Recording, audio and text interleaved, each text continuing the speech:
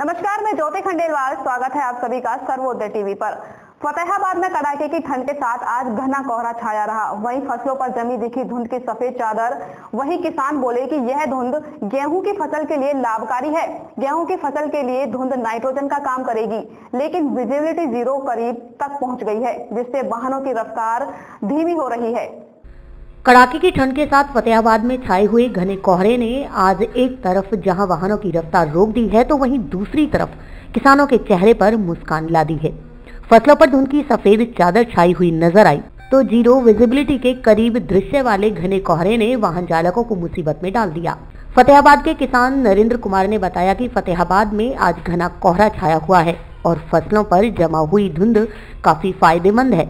खासकर गेहूँ की फ़सल के लिए धुंध की ये सफ़ेद चादर नाइट्रोजन जैसा काम करेगी और फ़सल का उत्पादन इस तरह की धुंध से बढ़ता है। धुंध अधिक होने से ओस की बूंदों से फ़सल की अच्छी पैदावार होती है। वहीं दूसरी तरफ़ वाहन चालक असलम ने बताया कि अन्य दिनों के मुकाबले आज कोहरा अधिक छाया हुआ है, जिसके कारण सड़क पर पाँच फीट से ज़्यादा दूर कुछ नहीं दिखाई दे रहा है। ठंड इतनी है कि वाहन चलाना मुश्किल हो रहा है और काम पर जाने की मजबूरी बीच हाथ कपकपा रहे हैं। सड़क पर दुर्घटना का खतरा बना हुआ है, इसलिए लोगों से अपील है कि ज़रूरी न होने पर धुंध में सड़क पर वाहन लेकर ना निकलें। बहुत ज़्यादा ठंड हो चुकी है और मतलब इतना ज़्यादा कोहरा पड़ रहा है ना कि पाँच फीट से आगे कुछ दिखाई नहीं दे रहा।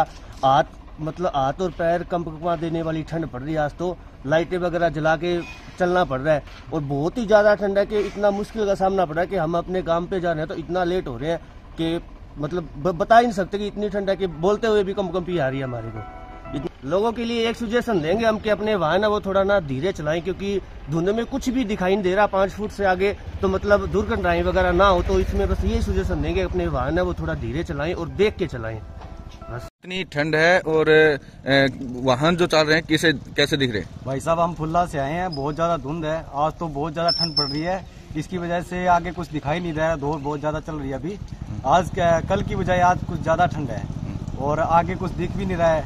ठंड से ऐसे हाथ काँप रहे हैं बाइक तो चल ही नहीं रही है हमारे बहुत ज़्यादा ठंड से पड़ रही है। तो काफ़ी ठंड हो रही है। बहुत ज़्यादा ठंड हो रही है सर। तो कितनी धुंध है? आगे कुछ दिखाई नहीं दे रहा अभी तो आराम से आ रहे हैं। हम फुल्ला गाँव से कम से कम आधा घंटा लग गया होगा मैं आते होते दो किलोमीटर का रास्ता आधे घंटे में तय किया हमने।